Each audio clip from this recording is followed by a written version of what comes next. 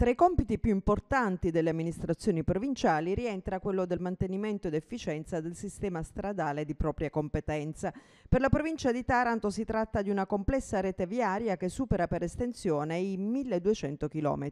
I fondi a disposizione non sono sufficienti per la loro manutenzione, che significa anche e soprattutto sicurezza.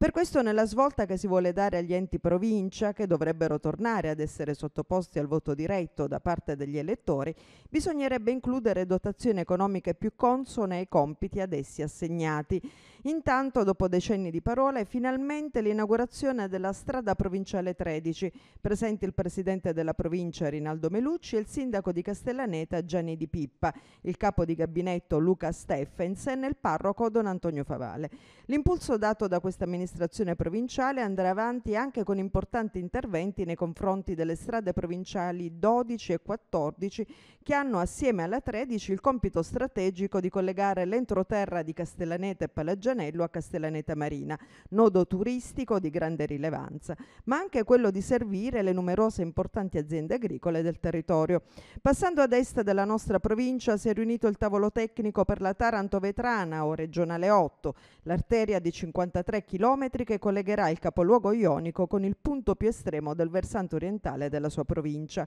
Ora i comuni interessati devono predisporre gli elenchi dei residenti nei confronti dei quali si procederà agli espropri e fra i pochi enti che hanno definito le rispettive procedure figura quello di Taranto, che adesso ha tutti gli elementi a disposizione per far arrivare il fascicolo istruito al vaglio del Consiglio Comunale. Nuovi comuni interessati a questa grande arteria che darà finalmente l'impulso giusto al turismo e all'economia di questa parte orientale della nostra provincia, un'area di rilevanza strategica per tutto il Salento che nei decenni scorsi è stata colpevolmente abbandonata ad una rete viaria asfittica e assolutamente insufficiente per le grandi prospettive che questa parte della nostra provincia possiede.